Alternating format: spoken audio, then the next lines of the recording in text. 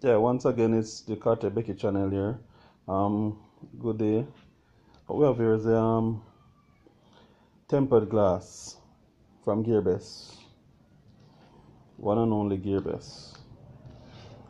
Well, these tempered glass um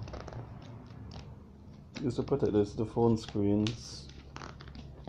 So, what we have in here is um of the glass here.